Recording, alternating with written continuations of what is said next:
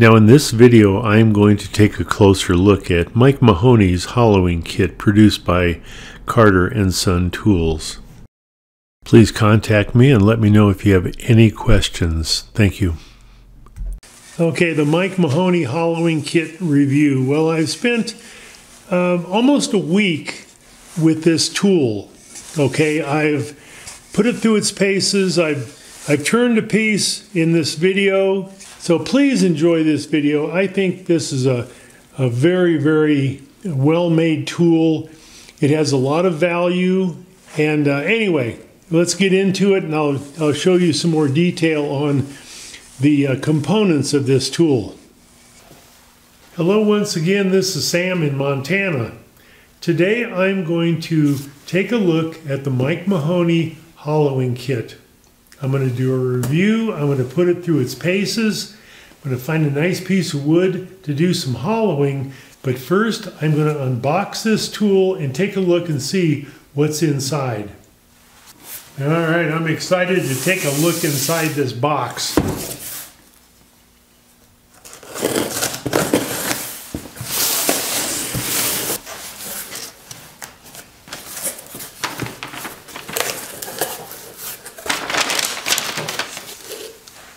Okay, the Mahoney hollowing kit. Let's take a look.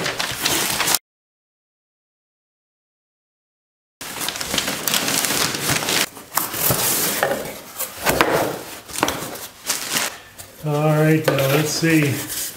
I'll give you a, a little peek right here. Well boxed.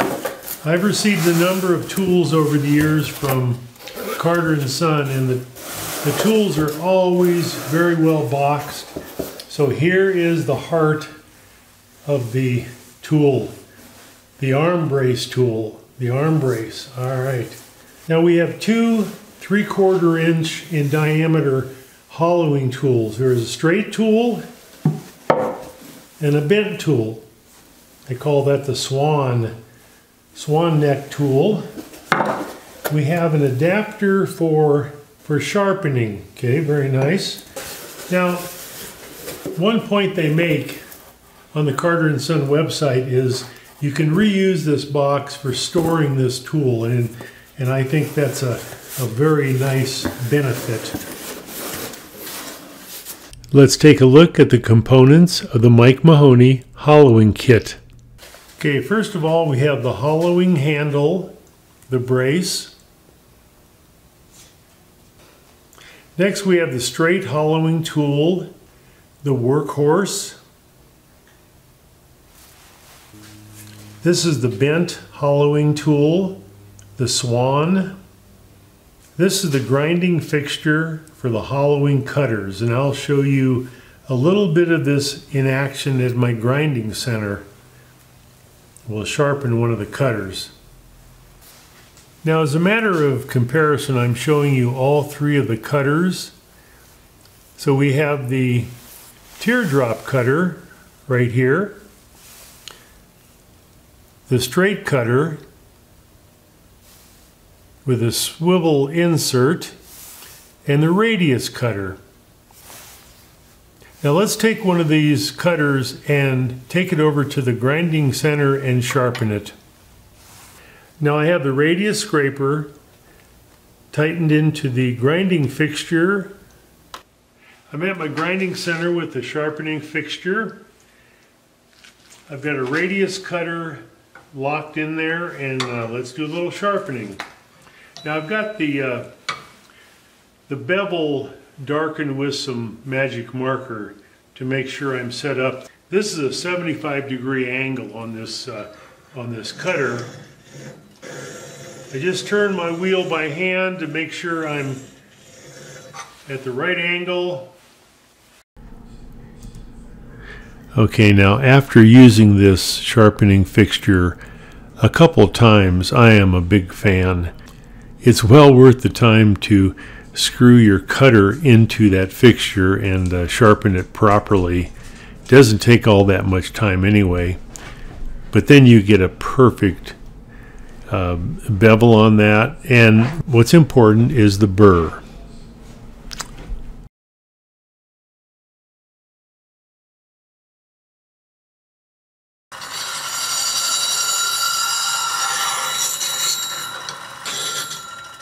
All right, now let's take a look at the bevel here. So I've hit the cutting edge all the way around.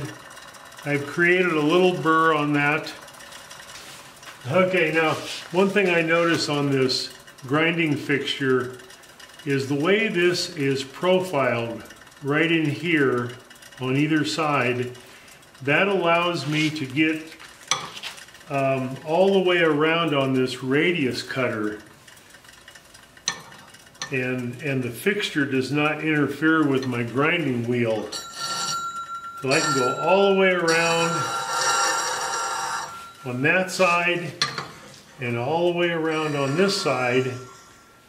And that might be a better view of, of how that uh, really wraps around the wheel without hitting it. Okay, now for the main event, I've got a piece of box elder chucked up in my lathe. And down here, I usually leave a little bit of thickness to dampen vibration on the top part of my hollow form. This will be probably reduced by half as far as the diameter. So first thing I'm going to do is I'm going to drill this out. I've got this marked with a piece of tape and the bottom is right here and I can use some of this wood down here for the depth if I need it later on. So I'm all locked in. The drill bit I've got is a Forstner bit. It's an inch and an eighth and it's kind of a dedicated setup that I use for my hollow forms. Turn the speed down a little bit.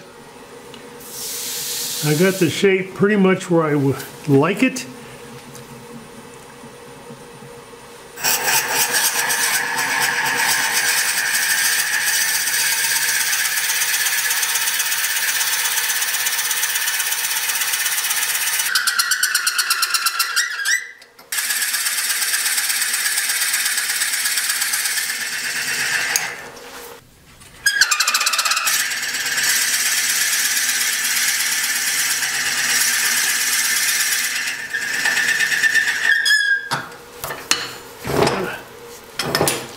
Okay, now I'm going to start out with the straight tool with a straight cutter chucked up into my brace.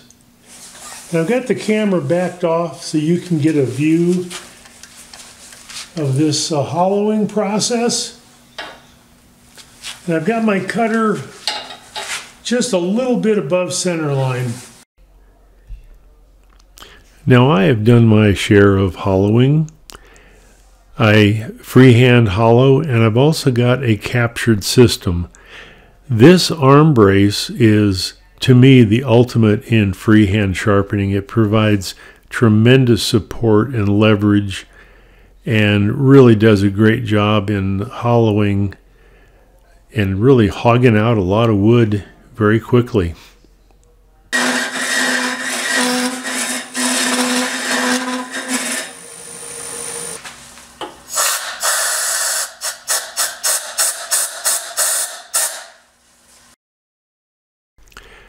Now I'm going to do my best to show you different views using this tool along with using various cutters.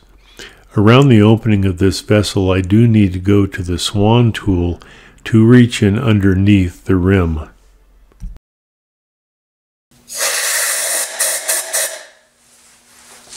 Okay, now I've adjusted my straight cutter so it's going forward just a little bit more in that direction rather than angled off. It's really aggressive.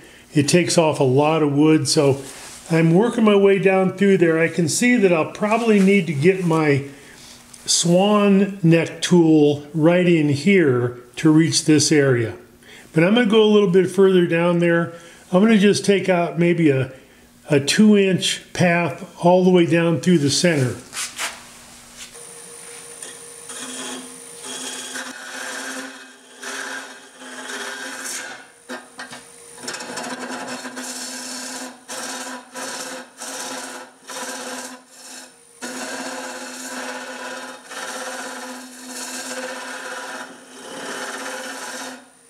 Okay, now I've got my swan neck tool in my brace. And I've got the teardrop cutter installed in that Swan. Now, this particular cutter has a, a, a, tighter radius and a radius that's not quite so tight.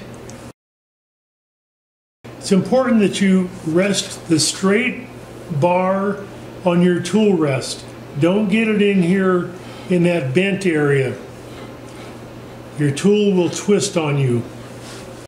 This is a pretty good view using the swan tool with the tool rest moved back so I'm resting the tool on the straight part of the bar and I'm reaching an area that I just couldn't reach with the workhorse or the straight bar.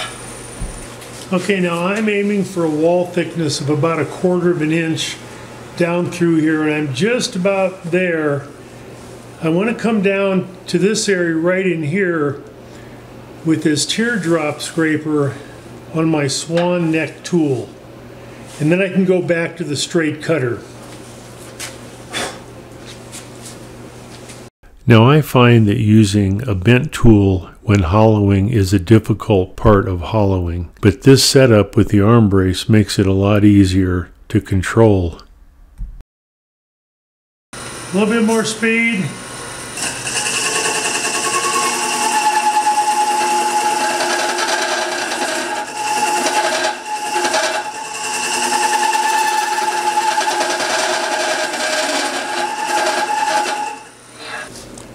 Now I've done a little bit of work off camera and I'm very close to my final wall thickness. However, you can't see what I'm doing, but I've got something that will remedy that. So now I'm at my bandsaw. I have my hollow form uh, in a clamp and it's all secure and safe. And I'm creating a window that you can see inside the vessel as I use these various tools from the Mahoney hollowing kit. Those clips will follow, so stay tuned. Okay, now the last cutter I would use is the radius cutter, which will help take away the tool marks on the inside, level off that surface.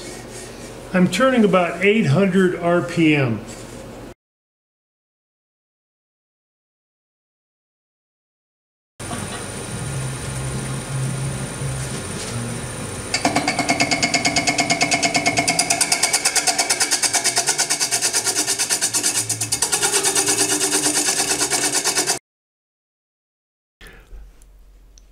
Now, hollowing takes a little bit of skill and some experience, so I would recommend if you're first starting out hollowing, start with a vessel with a wider opening and maybe a smaller one. And eventually you'll get the hang of it. What's important is in a system like this is to have the cutter right at center line or maybe a little bit above that.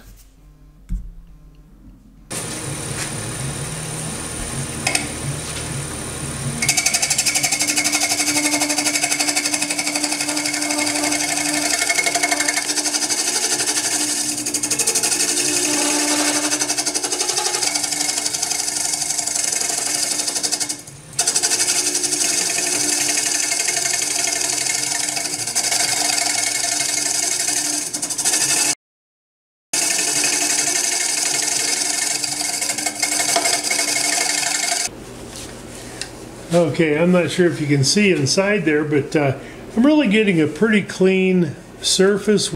I think my wall thickness is maybe 3 eighths of an inch, maybe, maybe a half. So I'm going to do a little bit more work on that. Okay, now I took the time to finish the very bottom of this.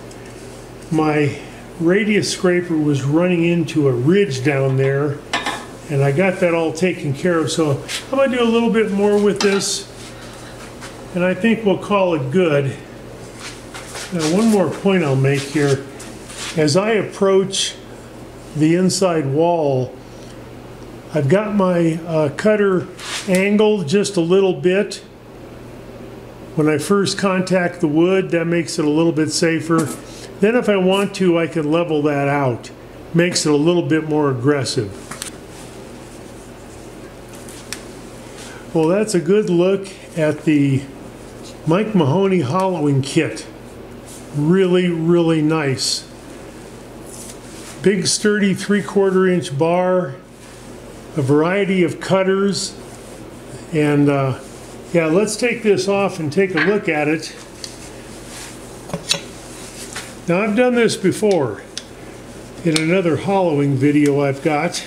That looks uh, kind of dangerous, but it's not too bad really. And I really wish you could see this surface. It's really clean.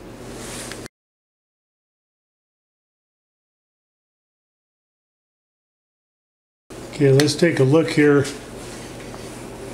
My hollow form. Okay, now I've got you zoomed in as much as I can.